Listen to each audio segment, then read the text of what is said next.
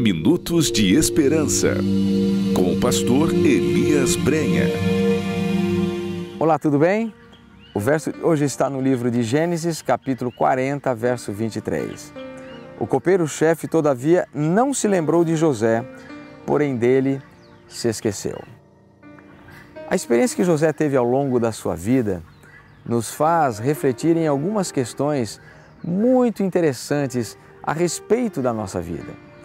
Ele sofreu uma quantidade enorme de torturas físicas e emocionais, as quais eram insuportáveis e não teve qualquer ajuda. Ele sofreu por um longo tempo sem ter nenhuma esperança de que algo pudesse mudar ou trazer-lhe algum benefício. Eu acredito que não seja muito fácil encontrar pessoas que, se fossem abandonadas como José e sofressem o que ele sofreu, não reclamariam e nem ficariam iradas com Deus. Embora eu também acredito que José teve seus momentos de fraqueza. Imagino que ele, de vez em quando, se sentiu deprimido e com vontade de chorar, talvez reclamar e até mesmo de desistir. Porém, ele nunca se levantou contra Deus. O exemplo de José nos ilustra a importância de esperar no Senhor. No Salmo 27, verso 14, Davi nos anima a esperarmos pelo Senhor. Ele diz: Espera pelo Senhor e tem bom ânimo, e fortifique-se o teu coração, espera, pois, pelo Senhor.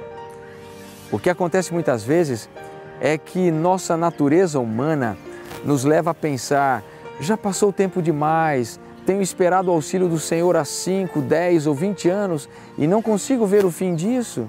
Deus me abandonou.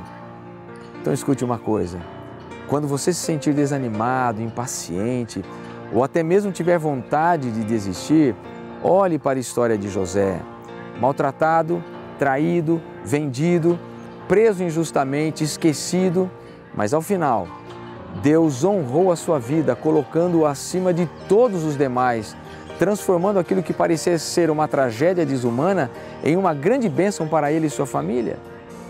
Eu gosto muito de uma declaração de José quando ele, depois de muito tempo, agora como governador do Egito, se reencontra com seus irmãos e diz para eles: Vocês planejaram o mal contra mim, mas Deus o tornou em bem, para que hoje fosse preservada a vida de muitos. Então acredite, Deus é capaz de transformar tragédias em bênçãos. Se você acredita nisso, ou se você está vivendo uma grande tragédia em sua vida e está aguardando pelo momento da bênção, lembre-se de que Deus prometeu tomar conta de você como um pai cuida de seu filho pequeno. Confie nele, porque só Ele é capaz de transformar as tragédias da nossa vida em grandes bênçãos. Feche seus olhos e ore comigo. Querido Deus, grande Pai que estás nos céus.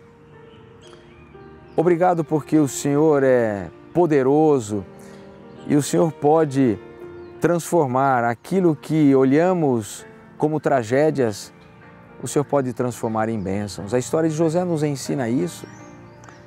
Como as tragédias que aconteceram na sua vida, o Senhor transformou isso em grandes bênçãos para ele, a família e para toda aquela nação. Se estamos hoje, Pai, vivendo algumas coisas que não entendemos, o que queremos é que o Senhor nos ajude a continuarmos acreditando e esperando pela bênção do Senhor. Que no momento em que o Senhor achar que é importante para nós, que aquilo que talvez seja hoje para nós uma tragédia, o Senhor transforme em bênçãos. Bênçãos para a nossa vida, bênçãos para a nossa família, bênçãos para todas as pessoas que estão ao nosso redor. Dá-nos essa compreensão, dá-nos essa paciência e dá-nos essa certeza de que o Senhor pode e é capaz de transformar tragédias em bênçãos. É com esse sentimento que queremos nos entregar mais uma vez nas tuas mãos e colocar a nossa vida completamente aos teus cuidados. E o fazemos isso em nome de Jesus. Amém. Que Deus te abençoe. Que bom estarmos juntos mais um momento na presença de Deus.